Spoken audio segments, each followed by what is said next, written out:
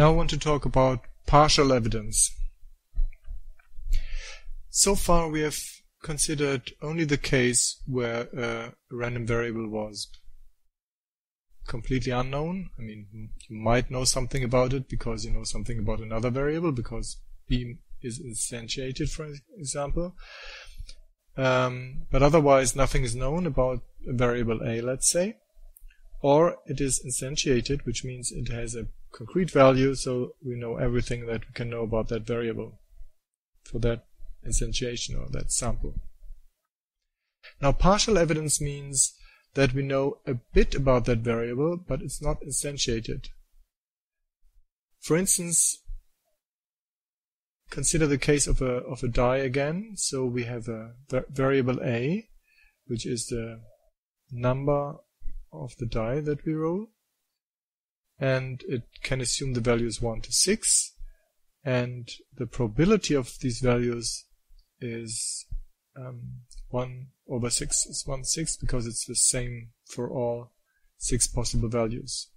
Now if I tell you I've rolled my die and it is an even number, then you know it can't be 1, 3 and 5, but it still may be 2, 4 and 6. That is partial evidence. So I know a bit about the variable, but not its concrete value. Meaning from the possible values, some are excluded, but there's still some left. Yeah? So if we do this here, if we simply exclude the values that we know that the die can't have, we are left with a 3 times 1 over 6. Uh, still we would assume that the probability of 2, 4 and 6 is equal, but it's not 1 over 6 anymore because that would violate the normalization condition. Right? If you sum over that, you would only get 1 half. So you have to renormalize the values, and then you get one third for these three values. So if I roll a die, I don't show you the number, but I tell you it's an even number, then you would guess it's either 2, 4, and 3 with equal probability one third. And that what happens if you have partial evidence of a variable. The notation is P of A for a variable where you have no evidence, and this um, calligraphic E sub A is represents the partial evidence. It's a set of values that are still possible for A. In this case, calligraphic E of uh, sub A would be 2, 4, and 6.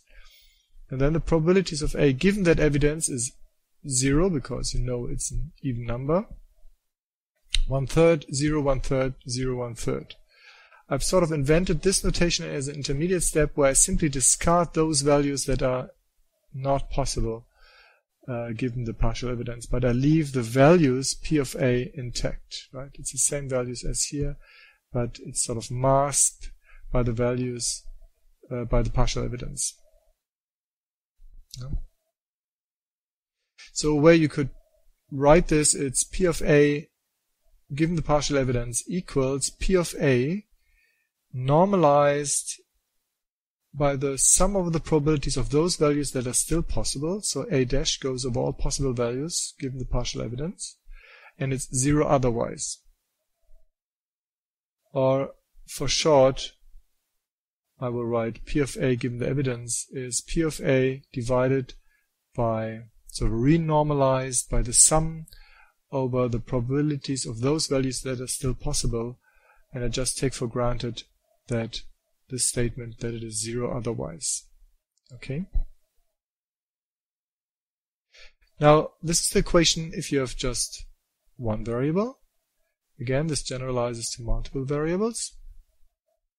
So if you have P of A, B, given partial evidence of A and B, that would mean you take the original probabilities and you normalize it by the sum over the probabilities of all those pairs of values that are still possible given the partial evidence. So in this case, the set calligraphic EAB would be a set of pairs of values A and B, and you go through all these pairs that are still possible. You normal, renormalize it by, uh, by that, so that if you would sum this fraction or this thing here over all values of A and B, it would be 1 again. Right? And again, with the understanding that the value of this is 0 if a and b are not in the evidence set. To simplify matters a bit, we I will usually assume that the evidence is independent for the two variables, meaning I can write EAB as EA, comma EB, and then the sum would simply go over all values of A that are still possible and all values of B that are still possible.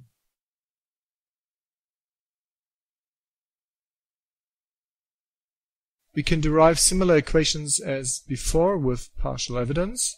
So for instance, if this joint probability P of A, B, given the evidence for A and B is given, we can calculate the marginal probability over A by simply summing over all values of uh, uh of B.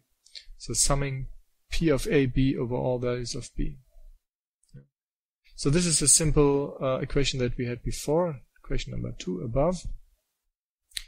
Um, okay, and if we now plug in this equation here, for this one here, uh, that results in this expression. Yeah? So we simply plug in P of A, B divided by the sum for this one here. And since the denominator is simply constant, we can put the sum here at the top, which then is this one here. The sum over B within the evidence set of P of A and B normalized by this denominator. Similarly, for conditional probabilities, we can take the normal equation, which is P of B given A equals P of AB divided by P of A, but now we add all the partial evidence. And now we substitute this term here for this part and this term here for this part. And that gives this complicated looking uh, fraction, but this denominator is the same as this denominator. So these two cancel out and we are left with P of AB divided by the sum over P of AB over the possible values within the evidence set.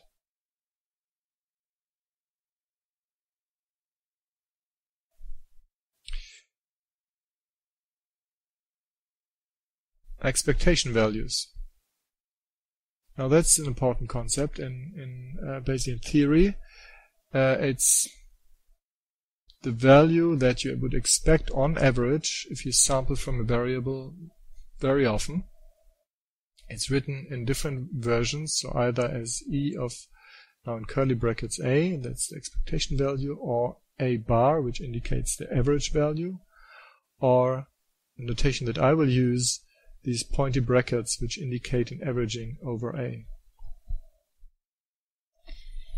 In either case, it is the average or it's the weighted sum of the values a weighted with the probability that you get that value. Right? Mm.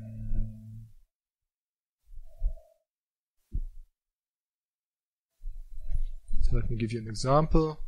I mean, it's quite obvious, I guess, but if a random variable can take the can assume the values 3 and 7 and it does so with the probability, let's say with equal probability, one half, one half, you simply add these two and that gives you 3 plus 7 is 10 divided by 2 would give you 5, right, which is the average value between 3 and 7.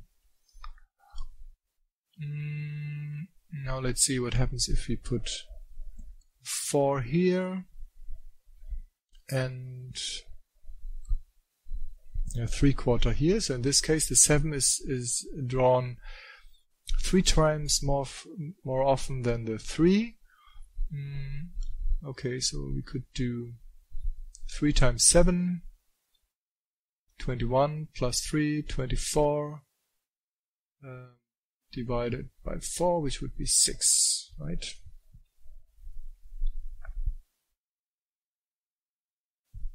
Yeah.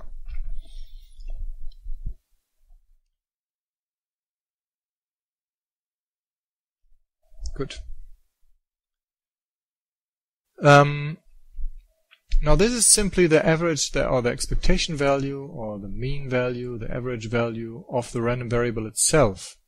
Very often we are looking for random uh, the expectation value of the function of the random variable. In that case, we would write the average of f of a over a, and that's simply defined as the weighted average over the function values of a, which will be different for the different values of a, weighted by the probability of getting a.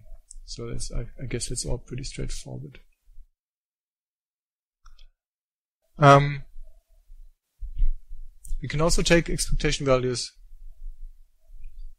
for more than two, uh, more than one random variable. For example, we could have a function that depends on two random variables a and b, and then the average would simply be um, the sum over all values a and b of f of a and b multiplied with the probability of a and b. Um, yeah, wait, that's pretty straightforward. But now we can do um, we can split P of A B into an P of A given B times P of B as we have seen before. And then we can rearrange the sums a little bit because this P of B does not depend on A, so we can take this out of the sum over A. So we have an inner sum over A over F of A and B times P of A given B. And then we have an outer average over B. And this in a shorthand notation would be written like this. So with the inner average over A given B, and then the outer average over B. And of course we can switch this around. So we can write P of AB as P of B given A times P of A, and then we can take P of A out, and we have the inner sum over B and the outer sum over A.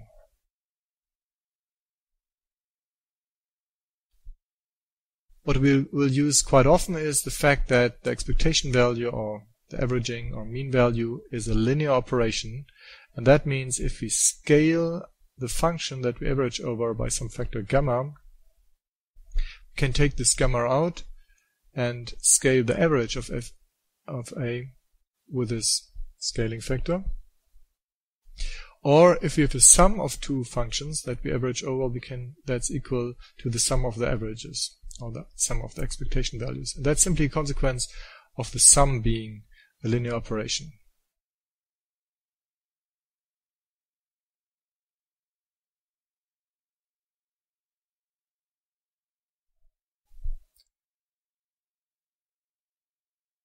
Continuous random variables. So far we have considered only discrete random variables, like the numbers that we can roll with a with a die, which would be 1, 2, 3, 4, 5, 6. Um, random variables can also be continuous, like, let's say, the height of a person uh, or the weight of a person. So that is not discrete, that's continuous uh, value. And pretty much everything goes through with the continuous values by substituting sums by integrals. For example, the normalization rule becomes this rule, so the integral over x of p of x dx should be 1. Um, or the marginal distribution can be calculated as p of x equals the integral over y of p of x y dy, and the Bayes rule still applies, and also the expectation rule applies by simply replacing the sum by the integral. Now, even though on a formal level it's not such a big issue, there are some strange things going on with um, with probability densities. Um, so one thing is if we imagine we have a probability density.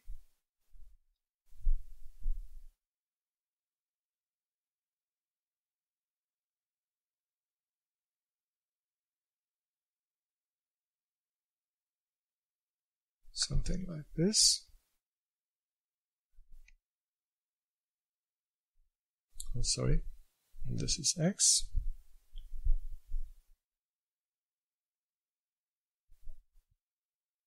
And this is p of x.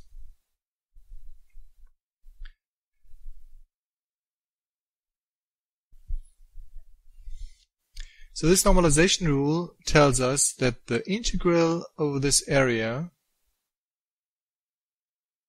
is 1. Now, if you imagine that this distribution goes from, I don't know, goes from something like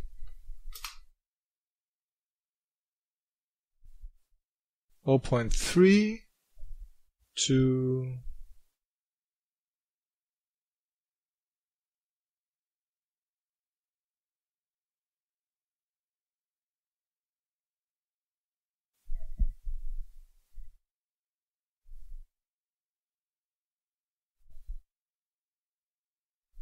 zero point four then it's quite obvious that in order to make this area um, 1, you need something like a value of, I don't know, mm, this is 1, maybe a value of 10 here.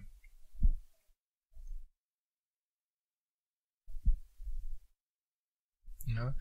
And that means that in contrast to prob probabilities that may never be larger than 1, in the continuous case, we have something that we call probability density, and that may well be greater than 1. So probability density can have very large values if the range of values is correspondingly small. So still we have this normalization condition that the area must be 1, but if the range in this direction is small, then the value of the probability density can be much larger than 1. So that's one thing to keep in mind. And the other thing is that you should be clear about when you talk about probabilities and one about prob- when you talk about probability densities. As I said, probabilities can never be larger than 1. They have to be between 0 and 1, while probability densities can be much larger than 1. Um, and if you want to make a statement about probabilities, you always have to make a statement about an interval.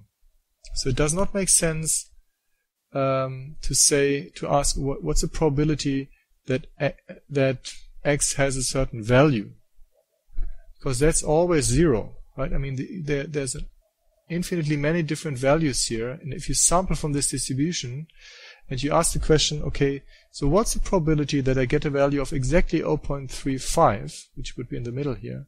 then you can sample forever, right? If you just look at the value that you have sampled close enough at some point after the, maybe after, at some position after the point, there will be a, a difference between 0.35 and the value that, that you've just sampled. So you have zero chance of sampling a value exactly 0.35. But what you can reasonably ask is what's the probability that a value lies within a certain range? and that's shown down here. So if we illustrate this here, that would be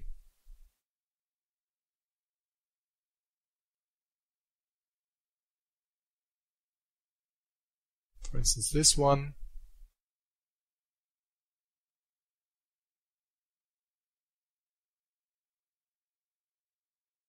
if you ask the question okay what's the probability that the value lies within that range here uh, then you would integrate over that area. And that is a finite thing. Uh, and you can imagine if you if you make these closer to, together, if you move these two the interval, the borders of the interval closer together, so that in the end you arrive at the question, okay, what's the val- what's the probability that you get exactly this value? Then you would integrate from x1 to x1 from the same from one value to the same value and then obviously the integral would be zero